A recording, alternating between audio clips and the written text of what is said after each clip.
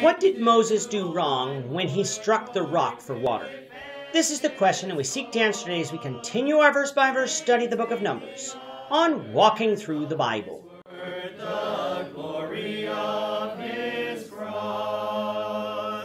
If you have a Bible with you, turn to Numbers chapter 20. We're going to be reading from verses 1 to 13. If you don't have a Bible, don't worry. Just follow along with us on the screen. The version that we'll be reading from is the New King James Version. So, Numbers chapter 20, beginning of verse 1. Then the children of Israel, the whole congregation, came into the wilderness of Zin in the first month, and the people stayed in Kadesh, and Miriam died there and was buried there. Now there was no water for the congregation, so they gathered together against Moses and Aaron. And the people contended with Moses and spoke, saying, If only we had died when our brethren died before the Lord. Why have you brought up the assembly of the Lord into this wilderness? that we are that we and our animals should die here. And why have you made us come up out of Egypt to bring us to this evil place?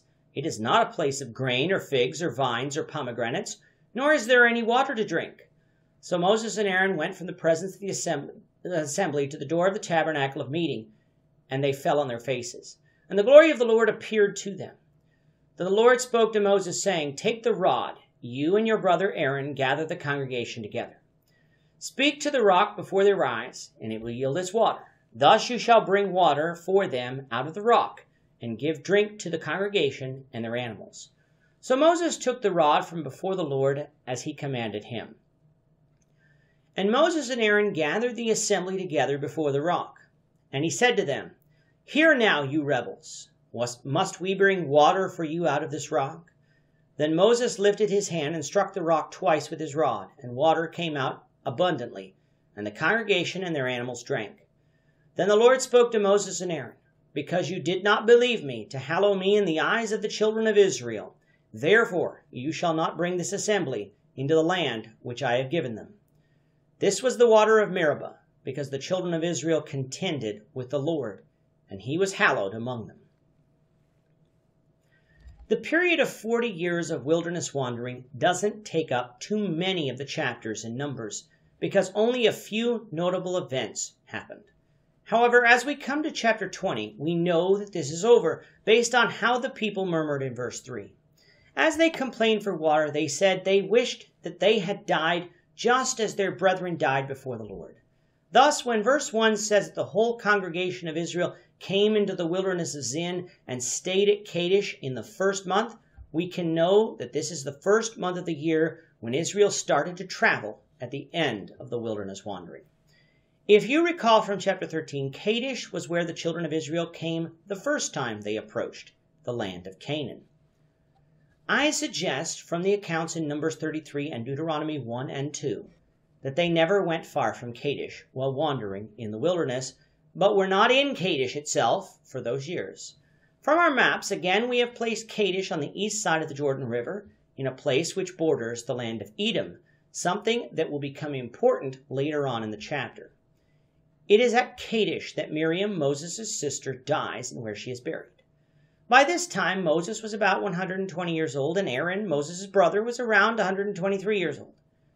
Now we know that Miriam was older than Aaron, and from our studies of Exodus, said she was probably six to ten years older than Moses, meaning that Miriam likely died between the ages of 126 to 130, though we don't know for sure from scriptural sources. At Kadesh, as is so often the case, even with this younger generation of Israelites, they complained that they had no water. Irrationally, they said that they wished they had died in the wilderness, for if they did, they wouldn't be suffering this thirst. Like it was with their parents, this generation still lacked a full trust in the power of God. This generation would have been fed with manna from heaven for their entire lives. They would have seen how God had protected them, yet now, on the cusp of taking Canaan, thought that God was going to let them die for lack of water. Moses and Aaron, as they have done many times before, approached God in the tabernacle of meeting with the petition of Israel for water.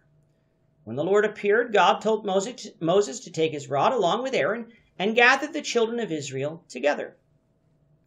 Moses was then to speak to the rock where he was, and it would yield water, enough for all Israel and their animals to drink. If this story sounds familiar, it should, for something similar happened on Israel's journey from Egypt to Sinai.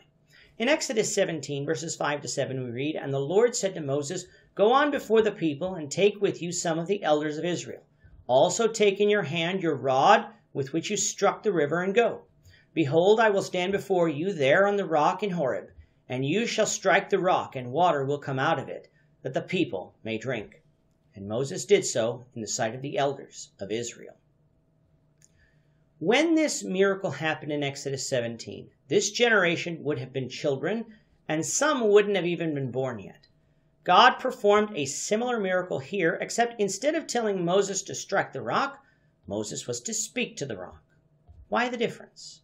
Because that's how God decided to do it. However, when Moses gathered Israel together, Moses allowed his anger to get the better of him, and in the process of scolding Israel for the rebellion, he struck the rock twice. Now, water still came out because it wasn't the children of Israel's fault that Moses didn't do what God commanded. However, God was displeased with Moses. God said that Moses didn't believe him and hallow him in front of the people. How had Moses not done this? Notice verse 10. Moses said, Must we bring forth water from the rock? Before striking the rock, Moses ascribed to himself what God was going to do. If Moses had spoken to the rock as God had commanded, then nobody could say that Moses did so by his own power. A miracle would have had to have been performed by God. However, perhaps some spring of water existed behind this rock, and by Moses striking it, he released the water. Moses took the glory away from God, and in disobeying, didn't believe God's words, nor did he hallow God. His penalty? He would not lead the children of Israel into the land of Canaan. We'll have more to say on this, the Lord willing, in the next lesson.